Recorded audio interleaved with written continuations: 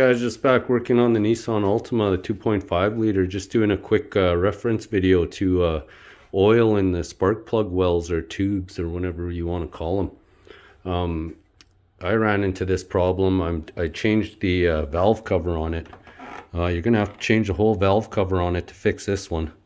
Uh, it doesn't come with... Uh, some valve covers come with a gaskets that go right here but in this case this one the gaskets are built right into the uh, built right into the valve cover and then it comes with a new gasket.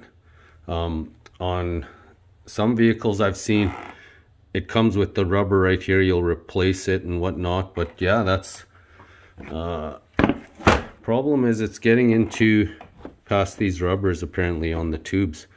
Um, I looked for videos on it. There's nothing on it so I decided to make a video on it so what I did was I went and found a nice clean one, a good used one off of another engine.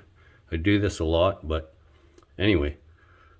And yeah, this that this one wasn't leaking at all. The, the tubes were nice and dry in there. How I found out was I went to go pull out one of these, one of the coil packs. I was replacing the spark plugs in this.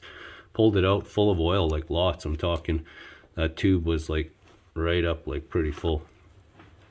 So anyway, uh, just doing a reference video on that, uh, what's going on there and how to fix that.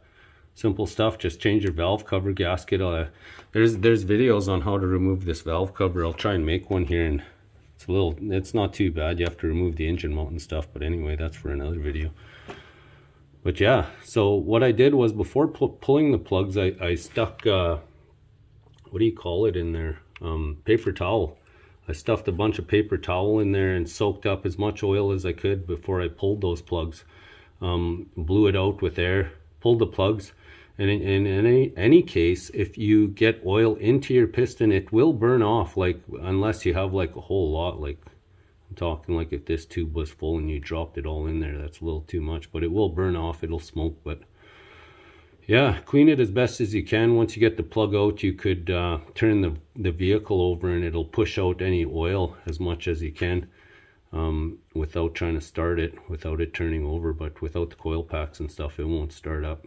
So yeah, check that out, try it out. And then, uh, yeah, that's on uh, 2.5 liter Nissan Altima, the uh, oil wells or tubes or whatever you want to call them for the spark plugs or not oil wells, I guess you would call them uh, spark plug tubes or wells on a 2.5 liter Nissan Altima. Uh, quick reference to oil in the tube. Yeah, thanks for watching. Said that too many times. Like and subscribe.